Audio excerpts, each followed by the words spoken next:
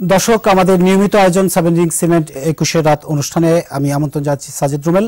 আমাদের আজকের বিষয়বস্তু হচ্ছে ডিজিটাল নিরাপত্তা আইন, কতটুকু গণমাধ্যম বান্ধব। আজকের এই অনুষ্ঠানে আমাদের এখানে অতিথি হিসাবে উপস্থিত হয়েছেন ঢাকা বিশ্ববিদ্যালয়ের সাবেক ভিসি অধ্যাপক ডক্টর আ আ মহস আরিফিন সিদ্দিক বিইএফ ইউজের মহাসচিব ওমর ফারুক এবং ব্লগ লেখক আরিফ জেপ্তিক। আপনাদের সবাইকে আজকের অনুষ্ঠানে আমন্ত্রণ জানাচ্ছি আলোচনার জন্য। এবং প্রথমেই আমরা একটি বিষয় বলতে চাই যে, আজকের এই কয়েকদিন যাবতই কিন্তু ডিজিটাল নিরাপত্তা আইন বিষয়ে কিছু লেখালেখি হচ্ছে, পত্রপত্রিকা আসছে এবং বিভিন্ন গণমাধ্যমে আসছে। এবং সেখানে দেখা যাচ্ছে যে কিছু নিবর্তনমূলক আইনের কথা বলা হয়েছে যে, সময়ে সময়ে হয়েছে বিএনপি আমল সহ।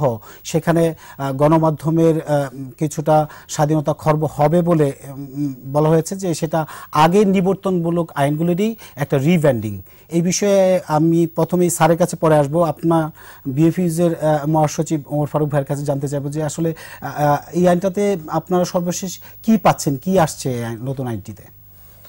ধন্যবাদ। এই ডিজিটাল নিরাপত্তা আইন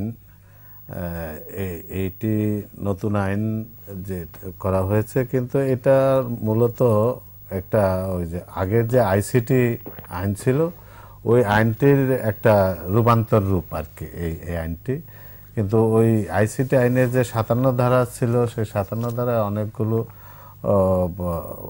বিষয় ছিল যে যার কারণে আমাদের সাংবাদিকরা অহেতুক নির্যাতনের শিকার হয়েছে। অনেক সাংবাদিকরাই বেশি হয়েছে। ওই সাতান্ন দ্বারায় অন্যান্য মামলা হয়েছে, অন্যান্য ক্ষেত্র কিছু মামলা হয়েছে, কিন্তু সাংবাদিকদের বিরুদ্ধে মামলাটা সবচেয়ে বেশি হয়েছিল। তখন আমরা আন্দোলন সংগ্রাম করেছি ওই ধারাটা পরিবর্তন করার জন্য। সেই ধারা এক পর্যায়ে সরকারের উচ্চ পর্যায় থেকে নির্দেশনা দেওয়া হলো যে সাংবাদিকদের বিষয়ে কোনো মামলা নেওয়ার আগে যাতে পুলিশের ঊর্ধ্বতন কর্মকর্তার অনুমতি নেওয়া হয়। এই যে নির্দেশনাটার কারণে কিন্তু মামলা নাইনটি ফাইভ পার্সেন্ট কমে গেল। এখন কিন্তু ওরকমভাবে মামলা হচ্ছে না। যেমন একজন একটা লেখা লেখলো, খুলনার ডুমুরিয়ায় যে মন্ত্রী সকালে ছাগল বিতরণ করলেন, বিকালে মারা গেল। এই এই সংবাদটা একটা, একজন লোক লিখলেন, একটা অনলাইন মাধ্যমে লিখলেন, কিন্তু যে লিখলেন, তার কিন্তু কোনো বিরুদ্ধে কোনো মামলা হয় নাই। মামলাটা হলো যে একজন শেয়ার করছেন।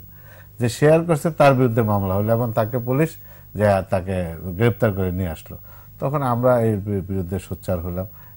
এক পর্যায়ে সেই সাংবাদিককে মুক্তি দেওয়া হলো এবং সেই মামলাটি আস্তে আস্তে ই হয়ে গেছে। তো এখন ওই এরকম অনেকগুলি কেস হয়েছিল, মামলা হয়েছিল। ঢাকা বিশ্ববিদ্যালয়ের দুজন শিক্ষক পরস্পর বিরুদ্ধে মামলা করেছিলেন। এরকম অনেকগুলি ঘটনা ঘটেছেন তো এই, তখনই সরকার অনুভব করলেন যে একটা এই আইনটা রূপান্তর করতে হবে। কিন্তু ঘটনা হচ্ছে যে, যেহেতু এই ডিজিটাল যুগ এখন ডিজিটালাইজড সব কিছু সারা বিশ্বে এই ব্যাপারে আইন আছে। তো আমাদের দেশে এরকম একটা আইন প্রয়োজন। আইনটা প্রয়োজন, এতে আমাদের কোনো দ্বিমত নাই। আমাদেরকে যখন সংসদীয় কমিটি আমাদেরকে এই আইন নিয়ে, নতুন যে ডিজিটাল নিরাপত্তা আইন, এই নিয়ে আমাদেরকে সংসদীয় কমিটি ডেকেছিলেন, আমরা সেখানে আমরা বলেছি যে আমরা আইনের বিরুদ্ধে না। আইনটা প্রয়োজন আছে। কারণ আমরা দেখেছি এই ডিজিটাল ডিভাইস যে যন্ত্রপাতি ব্যবহার করে দেশে অনেক অপরাধ হচ্ছে। ধরেন রামুর মতো ঘটনা।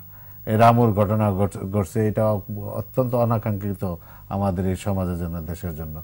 নাসিরনগরের ঘটনা, এরকম অনেক কিছু ঘটনা ঘটছে। সেই সব বিবেচনায় আরও অনেক ঘটনা আছে, যেগুলি এত অল্প সময় বলা যাবে না।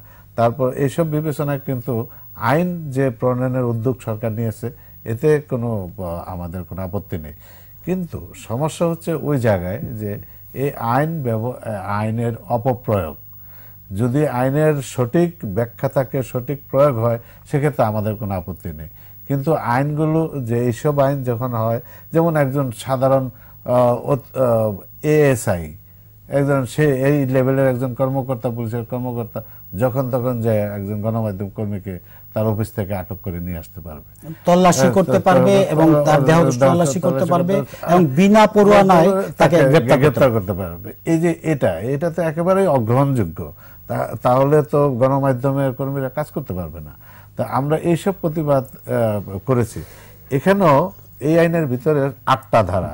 এই আইনে কিন্তু এই আইনটাতে প্রায় এটা ইংরেজিতে অনুবাদ করা সহ অনুবাদ করার অনুমতি সহ তেষট্টিটি ধারা আছে। এই এই আইনটার ভিতরে বিলটা, যে বিলটা সংসদে উপস্থাপন করা হয়েছে, এই বিলটাতে কিন্তু তেষট্টিটি ধারা আছে। কিন্তু অন্যান্য ধারাগুলিতে আমাদেরকে যে অতটা আমাদেরকে আঘাত করবে না, যে শুধু আটটি ধারা নিয়ে আমরা কথা বলেছি এবং আটটি ধারার আমরা বিভিন্ন জায়গায় কোথায় কোথায় সংশোধন করা দরকার গণমাধ্যমের প্রয়োজনে, বাক স্বাধীনতার প্রয়োজনে, এমনকি দেশের প্রয়োজনে, দেশের ষোলো কোটি মানুষের প্রয়োজনে আমরা এই ধারাগুলো সংশোধনের জন্য আমরা প্রস্তাব দিয়েছিলাম। প্রথমে আমরা মাননীয় স্পিকারের কাছে দিয়েছি এবং পরে মাননীয় আইনমন্ত্রীর কাছে দিয়েছি। আমাদের সৌভাগ্য যে তারা উভয়ই এই বিষয়টিকে গুরুত্ব সহকারে তারা গ্রহণ করেছেন। গ্রহণ করে আমাদেরকে আবার সেই সংসদীয় কমিটিতে আমাদেরকে আহ্বান জানিয়েছিলেন। সেখানেও আমরা, আমাদের এই ব্যাখ্যা আমরা দিয়েছি।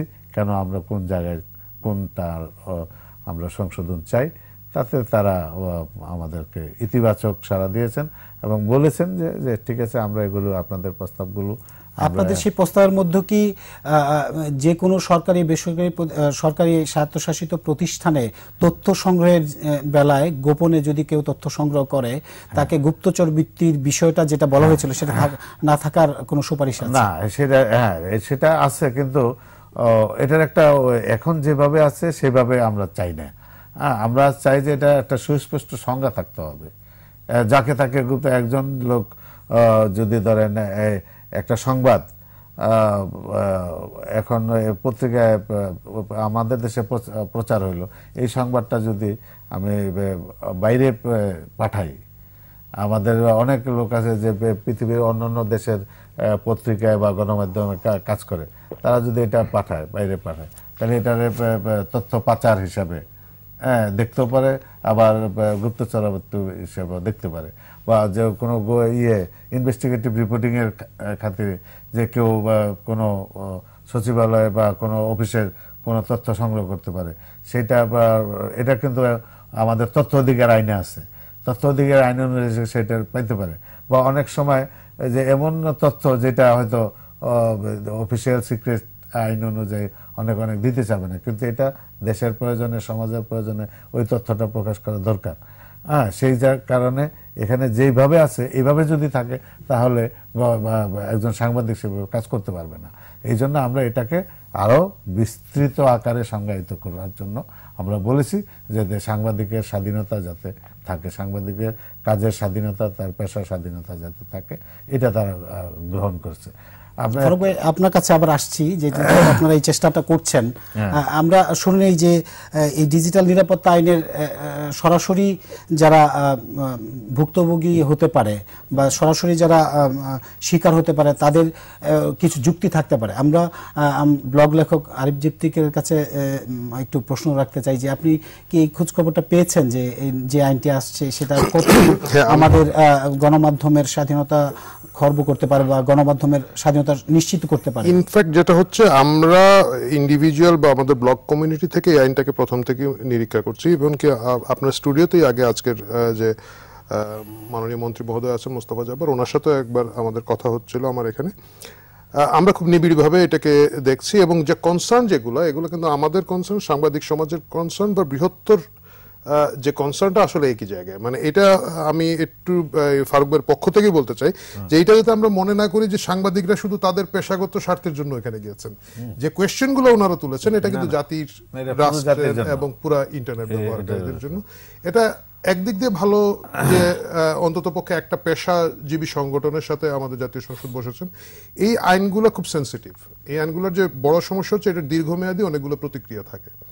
এখন আপনি একটা ছিনতাই মামলার আইন সহজে যেভাবে করবেন, এই আইনটা এইভাবে করতে পারবেন না। সেক্ষেত্রে স্টেক হোল্ডারদের সাথে অনেক বেশি যোগাযোগ এবং তাদের মতামত ফিডব্যাকগুলো আগে থেকে নেওয়া দরকার ছিল। শুরু হয়েছে এবং এখানে আরও বেশি ফিডব্যাকের প্রয়োজন পড়বে। কারণ হচ্ছে যে জিনিসগুলো কনসার্ন আছে, যেমন ধরুন উনিশ ধারা, বঙ্গবন্ধু মুক্তিযুদ্ধের চেতনা, এই জায়গাগুলোকে আরও একটু সংজ্ঞায়িত করার ব্যাপার আছে। মুক্তিযুদ্ধের চেতনা বলতে, আমাদের সংবিধানে যে মুক্তিযুদ্ধের চেতনা সুস্পষ্টভাবে বলা আছে, এটা এই আইনে ঢুকানোর একটা ব্যাপার আছে। ব্যক্তিগত আক্রমণের জায়গাগুলো আরেকটু ডিফাইন করে দেওয়ার ব্যাপার আছে। ধর্মানুভূতি নিয়ে যে ধারাটি আছে, সেটাকে আরেকটু অনেক ভালোভাবে ডিফাইন করা দরকার আছে। কারণ এই শব্দগুলো খুবই আপেক্ষিক। কে, কার কারণে কার অনুভূতি আহত হবে এটা তো বলতে পারবেন না। সো এই জায়গাগুলোকে যদি আপনি ডিফাইন যত বেশি করে দিবেন, যত বেশি এটাকে বর্ণনাটা পরিষ্কার রাখবেন আইনের অপব্যবহারটা বন্ধ করা যাবে। কোনো আইনই কিন্তু অপব্যবহার করার জন্য করা হয় না। জনস্বার্থে করা হয়, মানুষের স্বার্থে করা হয়। আমাদের দেশের সমস্যাটা হচ্ছে মানুষের স্বার্থে এটা থাকে না। এটা ব্যক্তির স্বার্থে, ব্যক্তির কারণে মানুষকে হয়রানি করার জায়গায় যায়। এই যে সাতান্ন ধারা নিয়ে কথা হচ্ছে, সাতান্ন ধারা যখন থেকে চালু হয়েছে, আমরা খুব জোরালোভাবে, সুস্পষ্টভাবে বারবার এটা নিয়ে বলেছি। তখন কিন্তু বলা হয়েছিল যে না, এটা দিয়ে সাংবাদিক নিগৃহীত হবে না। সাংবাদিকদের বিরুদ্ধে কিছু না। এটা দিয়ে জনগণ নিগৃহীত হবে না। কিন্তু আমরা কি দেখেছি? প্রায় হাজার খানেক মামলায় মানুষজন ভুক্তভোগী হয়েছেন। সাতান্ন ধারার তুলনায় এই আইনটা কম্পারেটিভলি ভালো জায়গায় আছে। এটা আমাকে মানতেই হবে। সাতান্ন ধারার মূল স্পিরিটটাই ছিল জামিন অযোগ্য এখানে জামিন অযোগ্যের জায়গাটুকু নাই। এর বাইরে সাতান্ন ধারার অনেকগুলো জায়গায় এখানে একটু বর্ণনা করে যেটা আইনমন্ত্রী নিজেই বলেছেন যে চারটা ধারায় আলাদাভাবে করেছেন।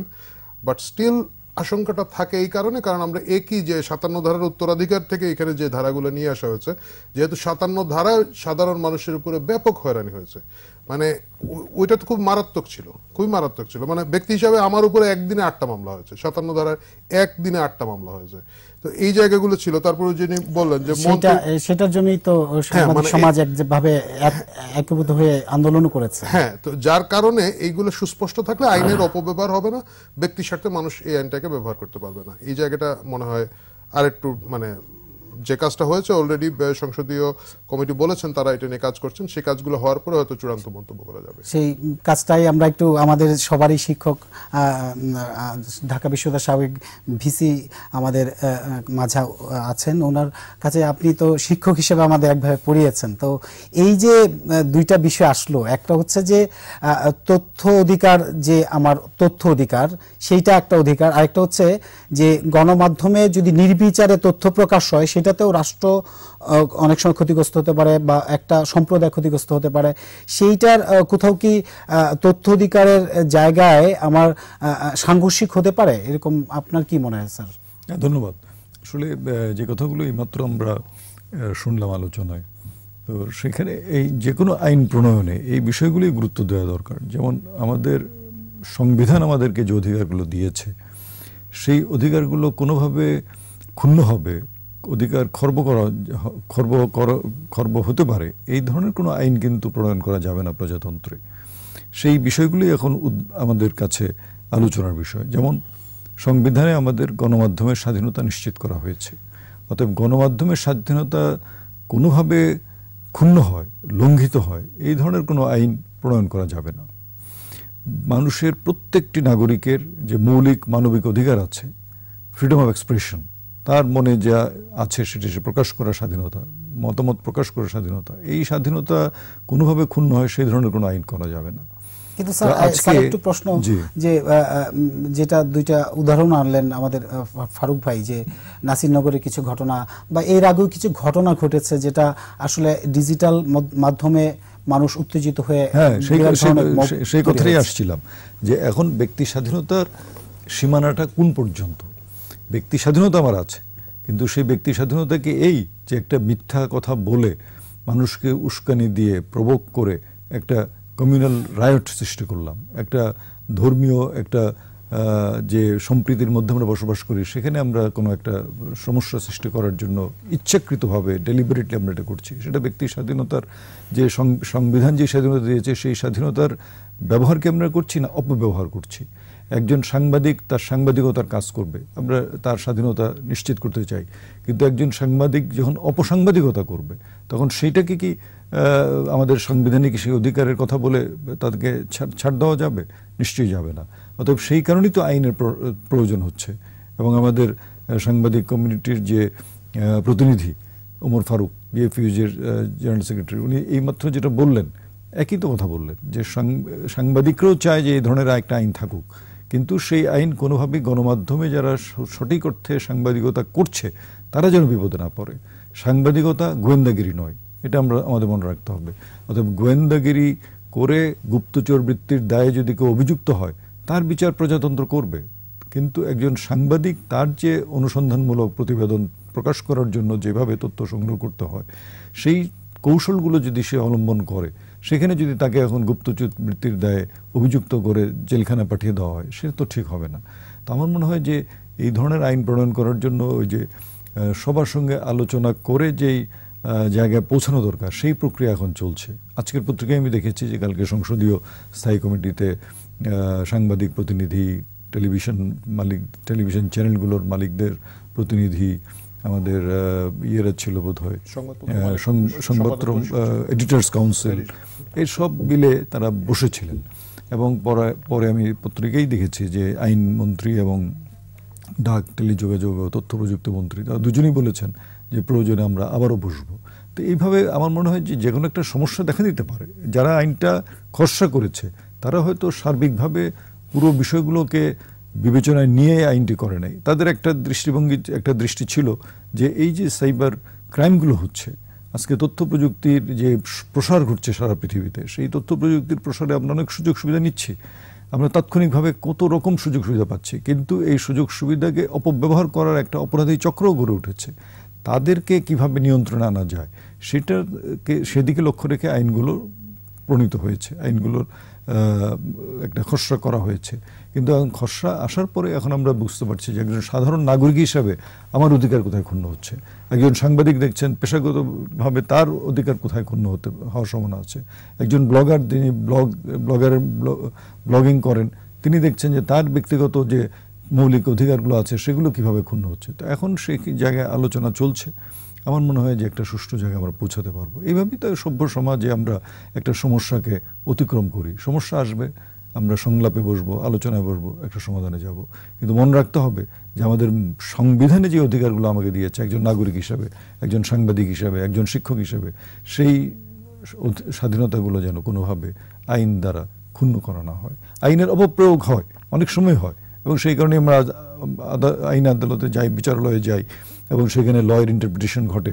সেই সুযোগ আইনের অপপ্রয়োগ হয় মত প্রকাশের স্বাধীনতার যে বললাম যে অপসাংবাদিকতা এবং মত প্রকাশের স্বাধীনতা আছে। কিন্তু তার মানে কি আমি যা কিছু ইচ্ছা তা করতে পারি? আমি কি মিথ্যাচার করতে পারি?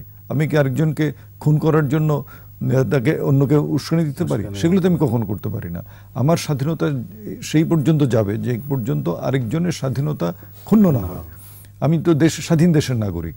আমি এখন মনে করি যে আমি স্বাধীন দেশের নাগরিক। আমি রাস্তার মাঝখান দিয়ে হাঁটতে শুরু করলাম। যে এটা তো আমার স্বাধীন দেশ। এটা কি হবে কখনো?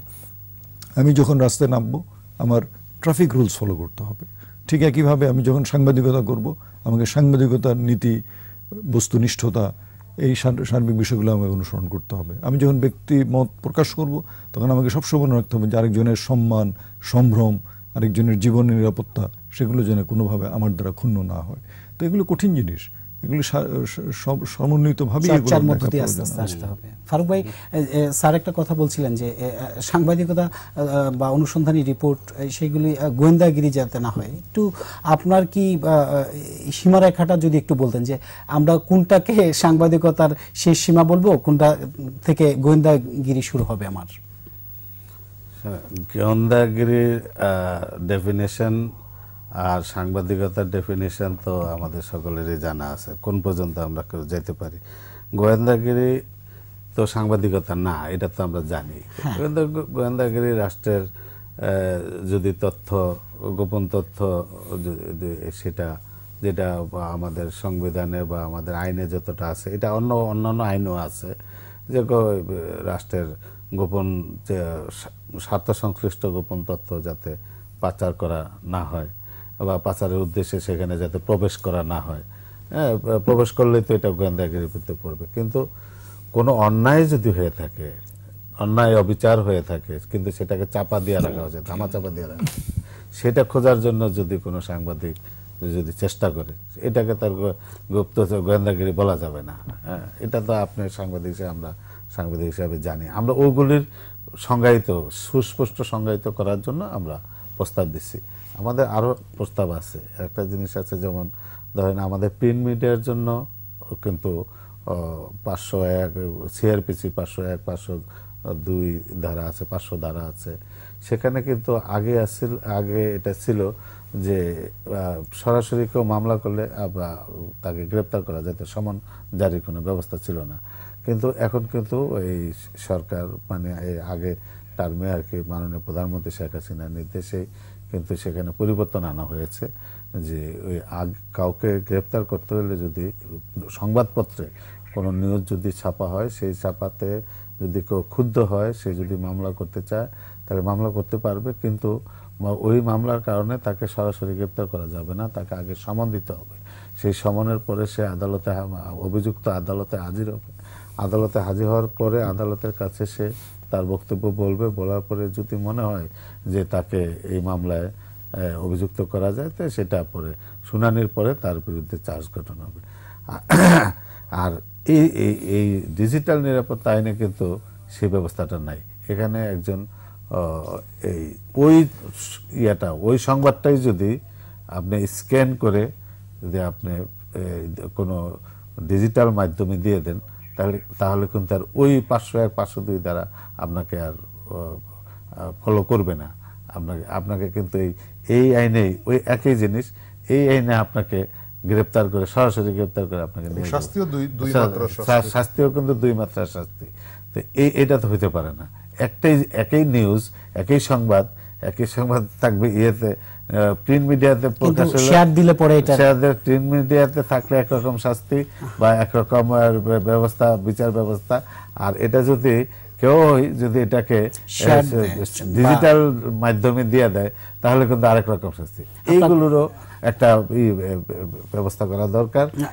এটাও আমরা আমরা প্রস্তাব দিয়েছি এবং আমরা বলেছি যে এই সাংবাদিকদের ব্যাপারে যদি কোনো মামলা হয় সেই মামলাটা সরাসরি আদালতে না যে এটা আমাদের প্রেস কাউন্সিল আছে। প্রেস কাউন্সিলে কিন্তু সংসদ সদস্য আছে বিভিন্ন পেশাজীবী প্রতিনিধি আছে সাংবাদিক প্রতিনিধি আছে আহ, গণমাধ্যম প্রেস মালিক- কাউন্সিলের মধ্য দিয়ে যাতে একটা সমাধান হওয়ার সুযোগ থাকে। হ্যাঁ, ফারুক ভাই আমরা আবার আসছি একটু ছোট্ট বিরতি নিয়ে। আহ, দর্শক সেভেন সিমেন্ট একুশে রাতে আহ, ছোট্ট একটি বিরতি নিচ্ছি। সঙ্গেই থাকুন।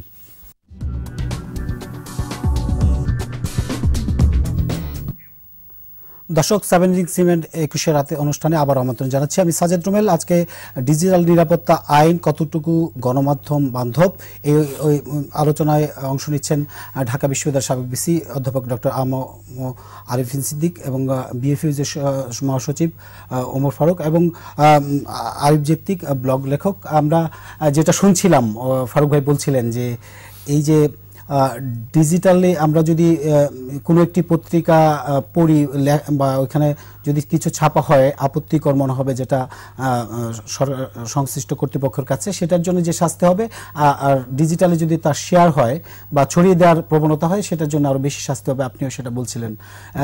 এই জায়গাটা কতটুকু আসলে ভয়ের কারণ হতে পারে? না, এই জায়গাগুলো এখন ঠিক করা হবে। যেহেতু পয়েন্টগুলো উঠে এসেছে, এবং একটা জিনিস ভালো হচ্ছে যে সংসদীয় কমিটি খুব মুক্ত মনে জিনিস পরামর্শগুলো মানে তারা রিজিড অবস্থানে না তারাও বুঝতে পারছেন যে এটাকে ঠিক করা দরকার।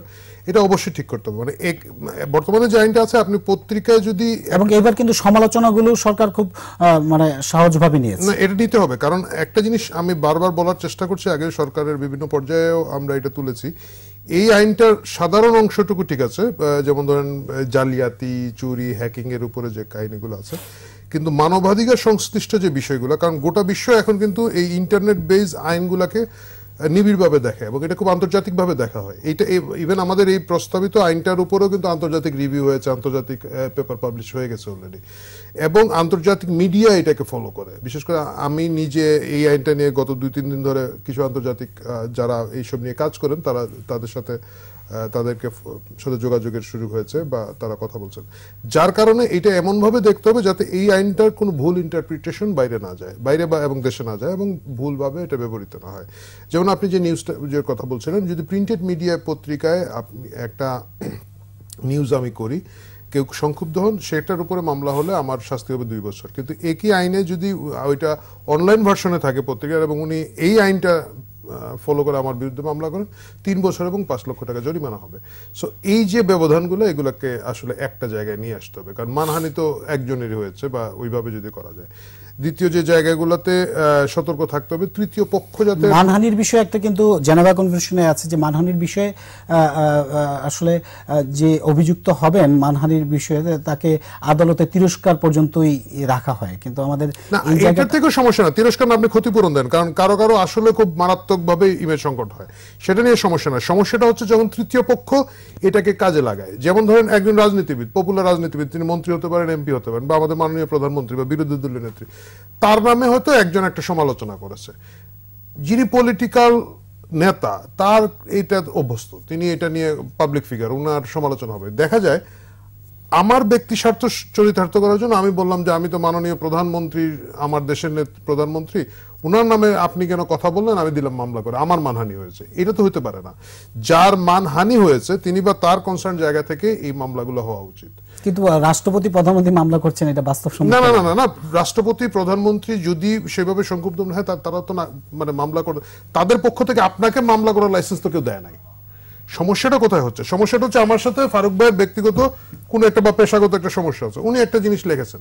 একজন আমার এলাকার একজন এমপির নামে একটা কিছু বলেছেন। এমপি হতে কিছু আসে যায় না। আমি বললাম যে আমার এলাকার এমপি আমার সম্মান চলে গেছে।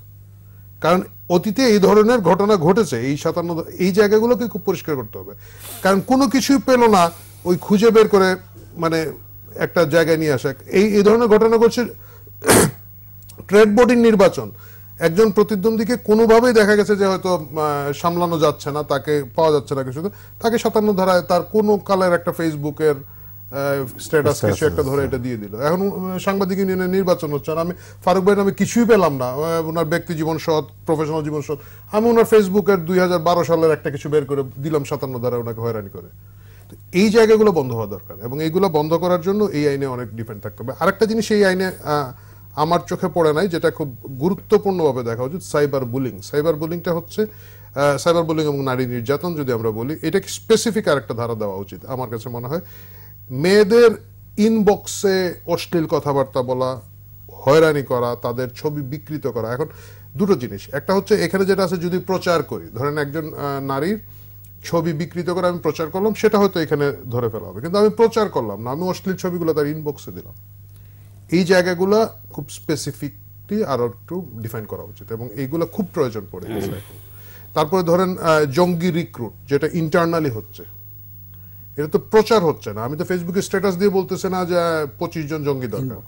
এটা কোথাও না কোথাও ইন্টারনালি হচ্ছে। এই জায়গাগুলোকে খুব ভালোভাবে এই আইনটাতে আনা উচিত। কারণ এইসব আইন রেগুলার করা যাবে না এবং আমরা হুট করে একটা বড় ডিজিটালাইজেশনে চলে এসেছি। আমাদের একেবারে সাধারণ জনগণের কাছে এক কোটির উপরে ফেসবুক ইউজার কিন্তু এটা এটা একেবারেই আন্তর্ব্যক্তিক। আপনার কাছে আসছি আবার। স্যার যেটা উনি বলছিলেন যে যে ফেসবুক ইনবক্সে বা মেসেজে মোবাইল মেসেজে তথ্য আদান প্রদানের ক্ষেত্রে সেটা একটা ব্যক্তির সাথে আরেকজন ব্যক্তির একেবারেই মানে দুজনের বিষয় পারস্পরিক বিষয়। এইটার বিষয়ে আসলে কি আইনে সুনির্দিষ্ট বড় কোনো ধারা বা কোনো শাস্তিমূলক একটু করার দরকার আছে? স্যারের পারমিশন না এটা আন্ত ব্যক্তি সম্পর্কের ব্যাপারটা হচ্ছে না। বিষয়টা হচ্ছে একেবারে চেনেন না জানেন না একজন নারী আপনি তার ইনবক্সে পাঁচটা ছবি দিয়ে উত্তপ্ত করছেন। তিনি কিন্তু কোনো সাড়া দিচ্ছেন না। আপনি আরও পাঁচটা ছবি দিয়ে দিচ্ছেন অশ্লীল গালাগালি করছেন। এগুলো অহরহ পাই আমরা যেহেতু ব্লগ নিয়ে কাজ করি অনলাইন নিয়ে কাজ করি আমাদের সাথে একটা বিশাল নেটওয়ার্ক আছে আমরা এই জিনিসগুলো অহরহ পেয়ে থাকি। এটার সাথে ওইটা কোনো সম্পর্ক নেই। আমার কথা হচ্ছে মানে দুইজনের রিলেশন আছে প্রেম আছে তাদের ইনবক্সে কি হয়েছে আই হ্যাভ নো ইন্টারেস্ট এটা তাদের ব্যক্তি ব্যাপার। কিন্তু একেবারেই আপনি চিনেন না। একেবারে জানেন না। বা সমাজের খুব একজন সম্মানিত মানুষ তাকে আপনি হুট করে তার ইনবক্সের ভিতরে গিয়ে গালাগালি করলেন। এই ঘটনাগুলো ঘটে। কারণ আপনি জীবনে হয়তো তার ধারে কাছে যেতে পারবেন না কিন্তু আপনি ইনবক্সে তাকে নির্যাতন করলেন। বাইরে করেন না। এই জায়গাগুলো খুব ভালোভাবে শক্তভাবে ধরা উচিত। স্যার স্যার যদি বলতেন এই বিষয়ে। না নিশ্চয়ই। আমাদের আন্তর্ব্যক্তিক সম্পর্ক থাকবে তাই না? আমরা প্রত্যেকের সাথে আমরা ইয়ের কথা বাদিয়ে দিই তথ্য প্রযুক্তির কথা বাদিয়ে দিই। আমাদের তো আন্তর্ব্যক্তিক সম্পর্ক আছে শিক্ষকের সাথে ছাত্রের সম্পর্ক বন্ধুর সাথে বন্ধুর সম্পর্ক। সহকর্মীর সাথে সহকর্মীর সম্পর্ক এই সম্পর্কগুলো আছে। কিন্তু এই সম্পর্কগুলোর যে প্রাইভেসি আমাদের ব্যক্তিগত বিষয়গুলো এগুলো নিয়ে আর কারোর এখানে নাক গলানোর কোনো সুযোগ নাই। এটা সব দেশেই এটা সর্বজন স্বীকৃত এটাই সভ্যতার একটা অংশ। স্যার আপনি আপনার সঙ্গে আমার ফেসবুকে আপনি আমার ফ্রেন্ড আছেন। এখন আপনাকে আমি ইনবক্সে অনেক কিছু আপনার ডিমোট আমরা পোষণ করার পরেও আপনাকে হ্যাঁ, দিতে পারি। শেয়ার করতে পারি। আমরা করছি সেটা। এখন ব্যক্তিগত সম্পর্ক, যেটা আন্তর্ব্যক্তিক সম্পর্ক আমরা বলি, সেটা ফেস টু ফেস আন্তর্ব্যক্তিক সম্পর্কে যে সমস্যাগুলো হয়, যেমন আমি এখন আমার একটা ব্যক্তিগত সম্পর্ক আছে বলে একজনকে কিল খুশি মারতে পারি না। সেটা যদি করি, তো সেটা তো তার ব্যক্তি, আমাদের এই ব্যক্তিগত সম্পর্কের কথা বলে আইন থেকে পার পাবো না। সে যদি আইনে যায়, সেটারও বিচার হবে। ততএব সেইটাই আমরা তথ্য প্রযুক্তিতে দেখতে চাই, যে তথ্য প্রযুক্তির যে সম্পর্ক, সুসম্পর্ক, সেটা যদি চলতে থাকে, কোনো অসুবিধা নেই। কিন্তু একজন ইচ্ছাকৃতভাবে একটা হেড মেসেজ দিবে, তাকে উত্তক্ত করার জন্য কিছু দিবে, বিকৃত ছবি দিয়ে তাকে উত্তক্ত করবে, এইগুলো তো আইনের আওতায় আসতে হবে। এখন এই জন্যই বলছিলাম যে এই আইনটা প্রণয়ন করতে আমাদের তথ্য প্রযুক্তির যে সর্বশেষ অবস্থা, সেগুলো সম্পর্কে সুনির্দিষ্টভাবে জানা এবং দুনিয়ার বহু দেশের অভিজ্ঞতা আমাদের নিতে হবে। আজকে তথ্য প্রযুক্তিতে যেসব দেশ অনেক দূরে গিয়ে গেছে, তাদেরও কিন্তু এই রেগুলেশনগুলো আছে, এই নিয়ন্ত্রণগুলো আছে, সেগুলো আমাদের জানা দরকার আছে। যদি সব কিছু করে আমরা আমরা আইনটা করছি কেন? আইনটা করছি অপরাধ দমনের জন্য। কোনো একজন মানুষ সৃষ্টিশীল কোনো কাজে তথ্য প্রযুক্তি ব্যবহার করবে, সাংবাদিক তার পেশাগত কাজে ব্যবহার করবে, সেটা তো কোনো সমস্যা নাই। এই যেটা একটু আগে ওমর ফারুক বললেন আজকেই সকালে বিএফইউজের সভাপতি মঞ্জুরুল হাসান বুলবুলের সঙ্গে আমার একটা সভায় দেখা হয়েছিল। তো ওনাকে জিজ্ঞেস করছিলাম, উনি একই কথা বললেন। যে আমাদের সাংবাদিক ফেডারেশন, সাংবাদিক সাংবাদিকদের পক্ষ থেকে এটা সুনির্দিষ্টভাবে বলে দেওয়া হয়েছে যে আইন যেগুলোই করলেন আপনারা, এই আইনগুলোর সাথে শুধু এইটা যুক্ত করেন যে একজন সাংবাদিকের বেলায় যখন এই আইনগুলো প্রয়োগ করতে যাবেন, তখন বাংলাদেশ প্রেস কাউন্সিলের একটা অনুমোদন নেন। প্রেস কাউন্সিলকে অভিযোগটা জানান যে এই অভিযোগ এসেছে, এই গণমাধ্যমের বা এই গণমাধ্যম কর্মীর ব্যাপারে। এটা সম্পর্কে এখন আপনারা মতামত দেন যে এটা সত্যিকার অর্থেই আইনের লঙ্ঘন হয়েছে কিনা। সাংবাদিকতার যে প্রেস কাউন্সিল সেটা যখন বলবে তখন এই আইনে আপনি চলে যান। তখন আপনি এই সাংবাদিক যদি অপরাধ করে থাকে তা- তার শাস্তি দেন। আমাদের তো কোনো আপত্তি নাই।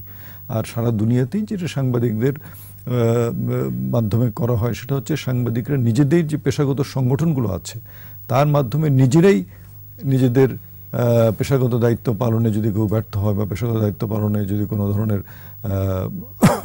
মন্দ কোনো দৃষ্টান্ত স্থাপন করে সেটা কিন্তু তারাই সিদ্ধান্ত নেন। সরকারের থেকে যদি কোনো একটা হস্তক্ষেপ করা হয় তাহলে বলার একটা সুযোগ হয়ে যায় যে সরকার সাংবাদিকতাকে নিয়ন্ত্রণ করার চেষ্টা করছে। সরকার তার নিজের স্বার্থটা করছে দরকার নেই। সাংবাদিক সমাজ নিজেরাই কিন্তু এই ধরনের কিছু অ্যাপারেটাস এই ধরনের কিছু যন্ত্র তৈরি ইনস্ট্রুমেন্ট তারা তৈরি করতে পারেন যেটা দিয়ে তারা নিজেরাই নিজেদেরকে শাসন করবেন। সাংবাদিকতার স্বাধীনতা আমরা সবসময় চাইব কিন্তু এই স্বাধীনতাকে অপব্যবহার করে কেউ অন্য কোনো স্বার্থ হাসিল করতে চাইবে সেটা, কিন্তু জনগণও চাইবে না এবং সাধারণ মানুষও চাইবে। ফারুক একদম শেষ দিকে আছি। যে আপনি তো এই ডিজিটাল নিরাপত্তা আইন সংক্রান্ত সভায় ছিলেন। আপনি খুব চমৎকার একটি আইন কি হচ্ছে এমন আশাবাদী আপনি? আমি তো অবশ্যই আশাবাদী, কারণ তারা আমরা যখন তাদের কাছে আমাদের উদ্বেগগুলো, আমাদের কনসার্নগুলো যখন আমরা উপস্থাপন করেছি, তারা কিন্তু এটা খুব পজিটিভলি গ্রহণ করেছে, ইতিবাচকভাবে তারা গ্রহণ করেছেন এবং তারা বলেছেন যে আমরা এগুলো, আপনাদের কনসার্নগুলো আমরা ইনক্লুড করব এই আইনে। ইনক্লুড করে এটা চূড়ান্তভাবে সংসদে আবার উপস্থাপনের আগেই আপনাদের সাথে আবার আমরা মত বিনিময় করব। এটা একটা মানে গণতান্ত্রিক সমাজে একটা একটা বিরল দৃষ্টান্ত।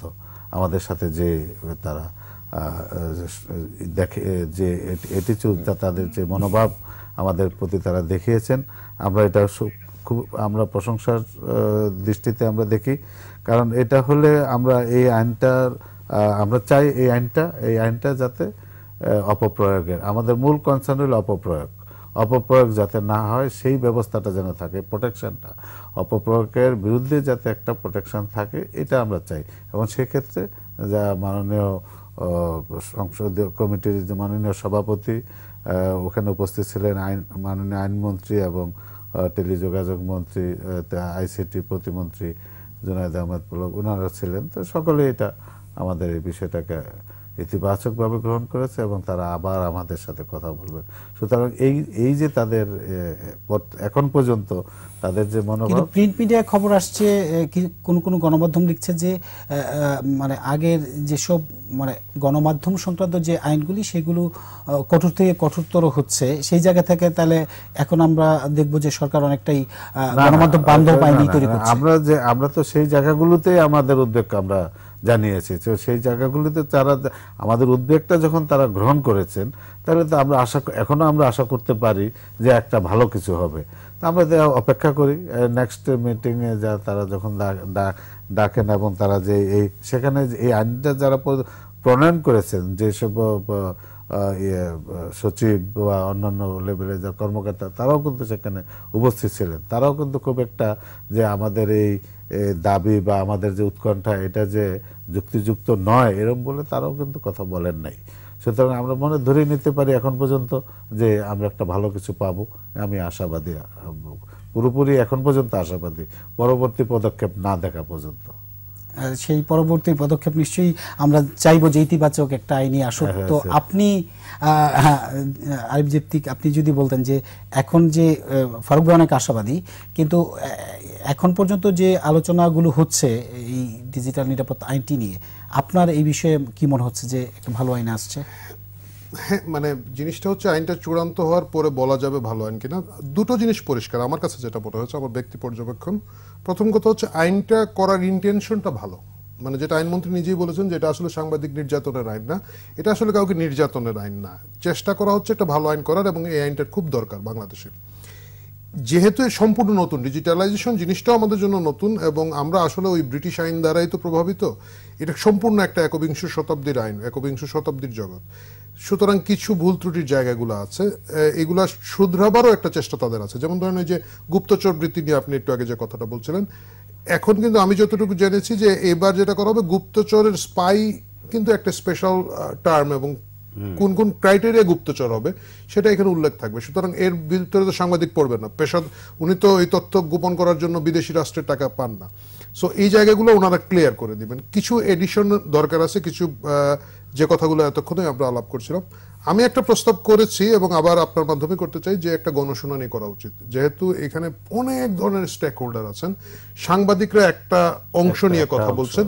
সাংবাদিক এবং আসলে কিন্তু সাংবাদিকরা ভুগবেন কম কম্পারেটিভলি যদিও সাতান্ন ধারায় ওয়ান থার্ড মামলা হয়েছে সাংবাদিকদের বিরুদ্ধে তাদের জামিন হয়েছে সহজতর। কারণ তাদের পেশাগত পরিচয় আছে, প্রতিষ্ঠান তাদের পক্ষে থাকে, তাদের ইউনিয়ন আছে মানে তাদের পেশাগত সংগঠনগুলো আছে যারা তাদের সাথে থাকেন।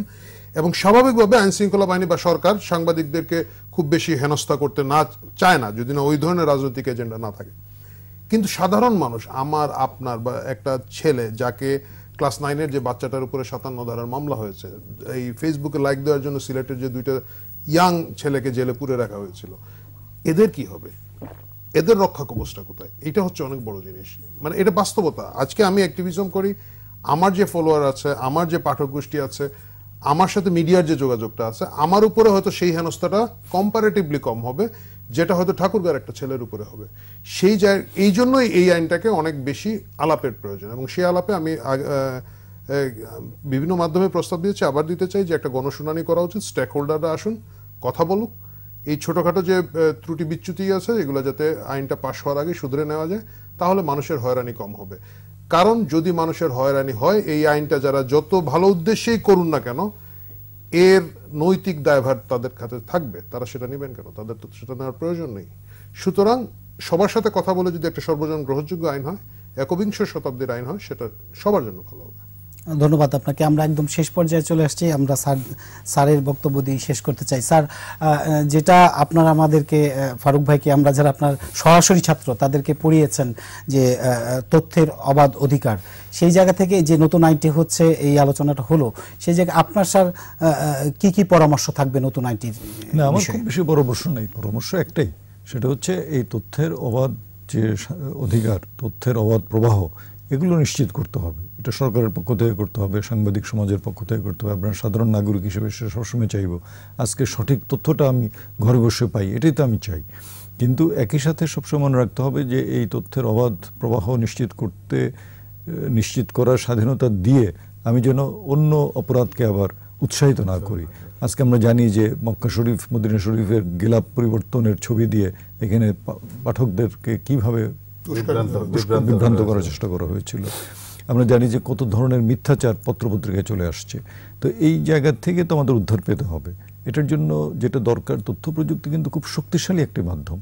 আজকে সোশ্যাল মিডিয়ার কথা বলি, খুবই শক্তিশালী মাধ্যম। এই মাধ্যম ব্যবহার করার সমস্ত রকম স্বাধীনতা ডিজিটাইজেশন প্রক্রিয়াকে ত্বরান্বিত করা, এগুলো বর্তমান শেখ হাসিনা প্রশাসনের অবদান। স্বাধীন তথ্য কমিশন তারাই গঠন করেছেন। অতএব এই সরকার সংবাদপত্রের স্বাধীনতা ব্যক্তি স্বাধীনতা নতুন ডিজিটাল আইনটি সম্পর্কে পত্রপত্রিকায় কোথাও কোথাও যে দু একটি পত্রিকা লিখছে যে এতে করে গণমাধ্যমের উপর কর্তৃত্ব বাড়বে এই জায়গাটি আসলে ওইভাবে এখনও আমি- সময় এই- কথাটার সঙ্গে আমি ভিন্নমত পোষণ করি কারণ এই যে যে যেগুলো দেখলাম যে কালকে সংসদীয় স্থায়ী কমিটির সঙ্গে এত খোলামেলা আলোচনা হচ্ছে তাতে কি বোঝা যায়? সরকারের একটা সদিচ্ছা আছে যে আইনটা হোক কিন্তু আইনে কোনোভাবে যেন ব্যক্তি স্বাধীনতা সাংবিধানিক স্বাধীনতা সেগুলো ক্ষুণ্ণ না হয়। কিন্তু আমাদের মনে রাখতে হবে যে আমাদের এই স্বাধীনতা ব্যবহার করতে গিয়ে আমরা কি যথেষ্ট দায়িত্বশীল আছি কিনা? আজকে ইউটিউবে যদি আমরা যাই, কি ধরনের কন্টেন্ট আমরা দেখি? এটা কি কোনো সভ্য সমাজে চিন্তা করা যায়? একেবারে মিথ্যাচার, যা কিছু ইচ্ছা করা হচ্ছে। এই জায়গা থেকে কিছু, এই জায়গা থেকে কিছু কন্টেন্ট নিয়ে এমন একটা স্টোরি করা হয়েছে, যেটা মানে চরমভাবে বিভ্রান্তিকর একটা ইয়ে। তো এগুলো তো বন্ধ করতে হবে। এবং সেই কারণে যারা ব্যবহার করব আমরা, আমাদের, আমরাও যেন দায়িত্বশীল হই সেই প্রশিক্ষণ, সেই শিক্ষা, সেই সুযোগও থাকতে হবে। আমাদের একটা বড় হাতিয়ার হাতে- এসে গেছে। এখন সেটা ব্যবহার করতে আমি যদি না জানি, তা আমি এমন কিছু করে ফেলব যেটা সমাজের সমূহ ক্ষতির কারণ হতে পারে। অতএব আইন দরকার, আইনের শাসন দরকার, আইনের প্রয়োগ দরকার এবং একই সাথে আইনের প্রয়োগ যেন একজন একটা প্রশিক্ষিত জনগোষ্ঠীর উপরে হয় সেই জন্য সেই প্রশিক্ষণের বন্দোবস্ত থাকা দরকার আছে। তা মনে হয় সব দিক থেকেই এই সরকার সেদিকে নজর দেবেন সেটা আমি প্রত্যাশা করি এবং আমরা যারা তথ্য প্রযুক্তিকে ব্যবহার করি আমাদেরকেও দায়িত্বশীল হতে হবে। এটা আমাদের মনে রাখা প্রয়োজন। আমাদেরকে দায়িত্বশীল হতে গিয়ে আসলে এক দুইটা ধারাতেই কাজ করতে হবে। এক তথ্য দিতে হবে জনগণকে এবং আমাদের যে দায়িত্বশীলতা সেটারও পরিচয় অপরাধের জন্য অপ- অপরাধীর শাস্তি সেটার ব্যবস্থা থাকতে হবে কিন্তু অপরাধে যেন না যায় সেজন্য আগে থেকেই ব্যবস্থা নেওয়া দরকার আছে। অনেকে অজ্ঞতার কারণেও অপরাধের দিকে চলে যেতে পারে। সে জানতি হয়তো জানেও না। তাকে শেখানো দরকার আছে যে এইভাবে করা যায় না। তোমার স্বাধীনতা বলতে আরেকজনের স্বাধীনতা ক্ষুণ্ণ করা কখনোই তোমার স্বাধীনতা নয়। তোমাকে নিয়ন্ত্রণ করতে হবে। ধন্যবাদ স্যার আপনি কষ্ট করে আমাদের স্টুডিওতে এসেছেন। ফারুক ভাই আপনাকে ধন্যবাদ আরিফ জিপ্তি আপনাকেও ধন্যবাদ যে আমাদের অনুষ্ঠানে এসেছেন।